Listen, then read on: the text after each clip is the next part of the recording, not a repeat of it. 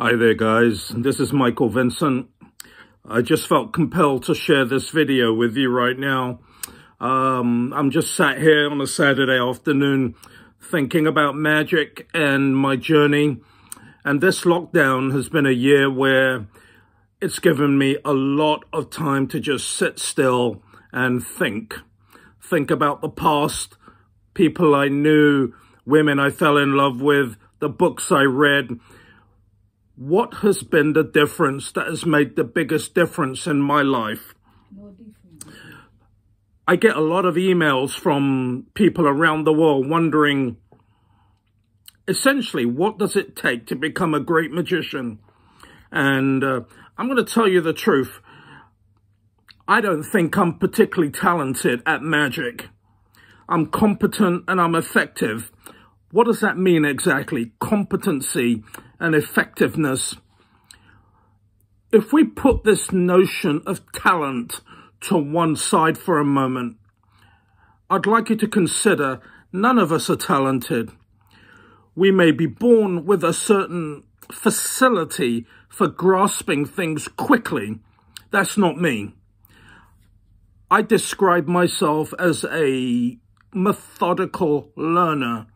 I was never one of these people that could sit in a classroom and have a teacher talk to me for me to feel like I've learned something. More often than not, I fell asleep simply because I was bored out of my skull. My teachers bored me to death. The subjects bored me to death. I was not interested in mathematics. I wasn't interested in biology and chemistry and all of that nonsense. I'm sat there thinking, what benefit is this to me? I fell asleep. so I discovered something about myself. And I'm grateful to my mother for this because as a baby, she read to me because I did not sleep as a baby. I was always up. So she read to me, she spoke to me. And uh, when I was old enough to really understand, she read to me from the Bible stories I remember stories of Samson and Delilah, Hansel and Gretel. And would you believe these stories inspired me because I wanted to read the books for myself. So she taught me how to read before I went to nursery. So my greatest teachers, apart from my mentors, were the authors of the books I read. Now, here's the funniest thing. You've heard me say this before in another video, but when I read Harry Lorayne's magic book, it wasn't so much the book that inspired me, but it was the way that Harry expressed himself through the printed word. His charisma came off the page into my heart, and I found that very inspiring. And this was probably the first technical book on any given subject I read where I felt, hmm, let me try this. I didn't think, oh, I could do this. I just thought, let me try this. I followed the instructions. And sure enough, I did a magic trick on myself. And I was quite surprised. Where's the talent in that? There's no talent in that.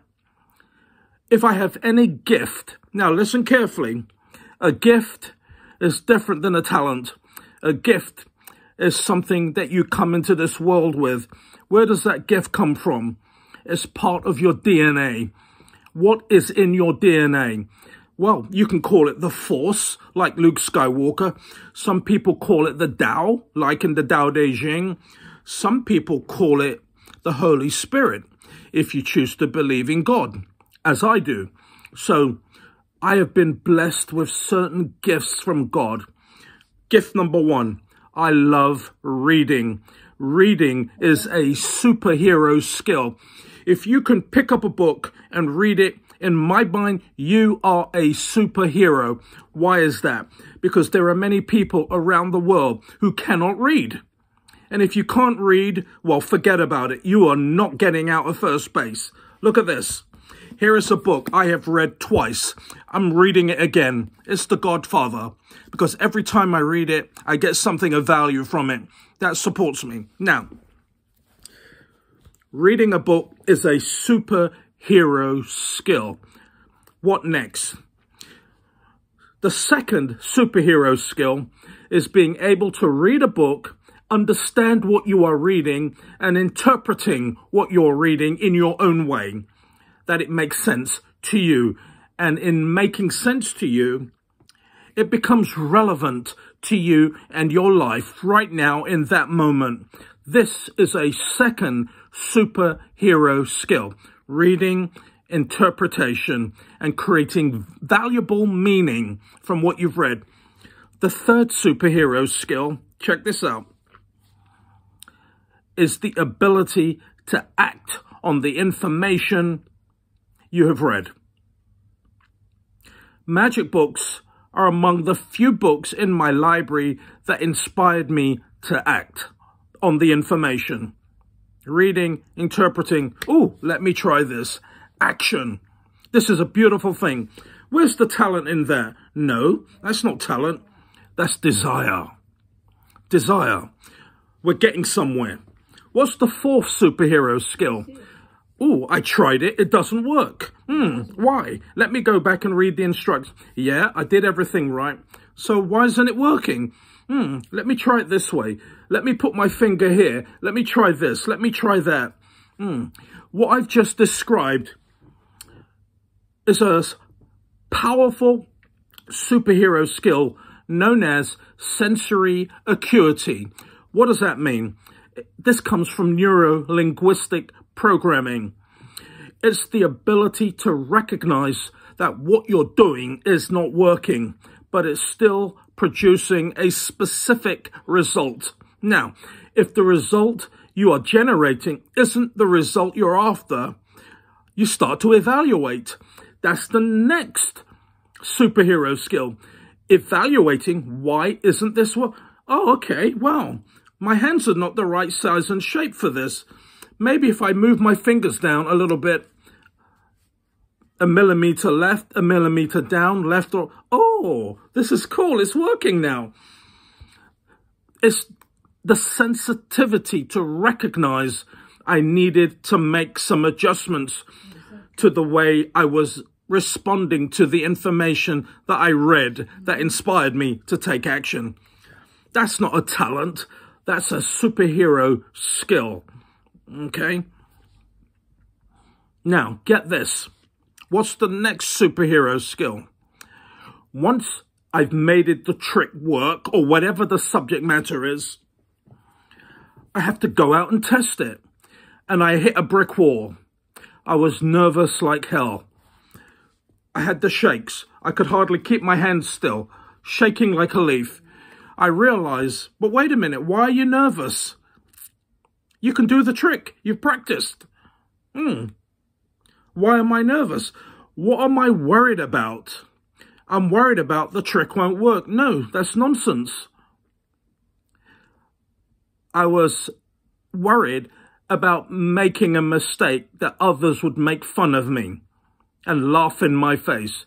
This had nothing to do with magic. This had everything to do with my insecurity about being in people because I suffered a lot of bullying when I was at school and uh, I always felt I was never good enough at anything. I wasn't good at football. I wasn't good at cricket. I hated all those things. I was never a team player. I am a lone warrior. I had a warrior spirit, okay? And the warrior spirit told me, Michael, breathe. Relax. Empty your mind. Be shapeless, formless, like water. Yes, Bruce Lee inspired me. When I heard those words, I started to practice self-hypnosis on myself. I imagined that I was the world's greatest magician, that I was calm, I was confident, and I had the technical skill to perform magic. So, the talent that I have, for want of a better word, is not in being able to do magic so well. No, that's not it. If you want to give me a label for being talented, I would I would be so humbled and thrilled if people said, you know what, that Michael Vincent, I can't believe he learnt that from a book and made it better than the man who created it. What you're really saying is, I took Larry Jennings' Open Travelers and you practiced it for 25, 30 years and it bears no resemblance to the original. In fact, it's a damn sight better than the original. I'm saying this with no ego because guess what? It's the truth. I've taken Larry's trick and made it better. Why? Because I continually applied sensory acuity to this trick and the way that I was doing it because I wasn't happy. It just didn't feel right. Now, what does this conversation mean for you? Uh, yeah, I'm talking to you. To all the magicians that go onto YouTube looking for a great trick to learn, hoping that it would make them a video, uh, uh, a better magician, excuse me. And to all the people who send me messages backwards and forwards, what books shall I read? How can I become as good as you? You don't want to be as good as me. You want to discover who you are. And the only way you will discover who you are pick up a book and read it. Reading is a superhero skill. I promise you, trust me on this. Take it one word at a time. Put one finger on each word if you have to. And get a dictionary out. Learn to read a dictionary. I have a friend. His name's Ed. He taught himself to speak English by reading Tarbell. Tarbell Course in Magic all seven volumes. He's from South Korea and he couldn't even speak English. So what did he do? He had a dictionary, he had Tarbell, and he taught himself to speak English. Man, he speaks English better than me. so I'm saying this because it's a true story. So in a nutshell, you'll very often find talent and inspiration where someone is working hard. I don't believe in the word talent. Oh, you're very. No, I don't. I like it when people say, Mike, you, I can tell you work really hard on that. Here's a true story. I met Michael Skinner the year before he died in Las Vegas, and he asked me to show him a trick. So I did the Henry Christ 4 ace routine. Now, I knew that he would know this trick because he knew every trick on the planet.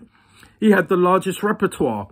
But Michael, I performed it for him and uh, I fooled him because I did something at the end that he was not expecting. And his face flushed like a Christmas tree.